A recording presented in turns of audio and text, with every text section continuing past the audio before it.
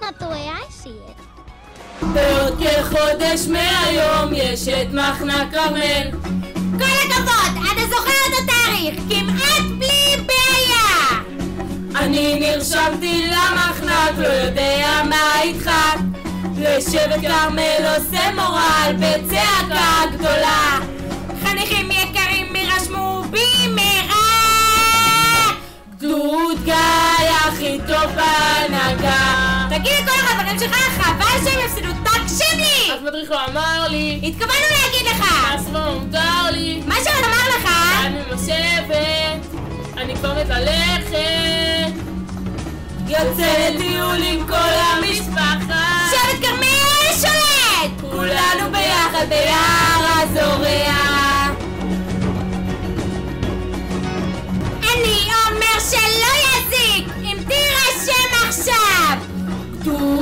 צריך להיות הכי גדול מכולם. אני יוצא בכל מצב, גם אם כואב לי הגב! עם שבט כרמל לאזוריה אני רוצה לצאת עכשיו! החניכים נרשמים ללא הפסקה! חמישים חניכים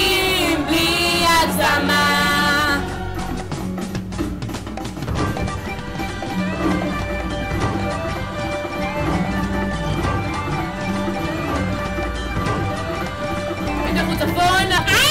עוד תלכו דרומה. אחורה! גיא תמיד יהיה שם, גבוה מעל כולם. מה זאת אומרת? עושים מורל בכל הקולות, מרעידים את הערים וה...